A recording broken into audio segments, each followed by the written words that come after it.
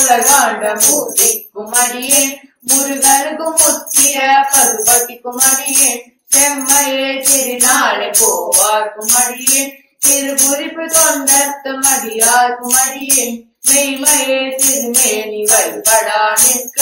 நின்ற தாளிடால் வழுவினால் எரிந்த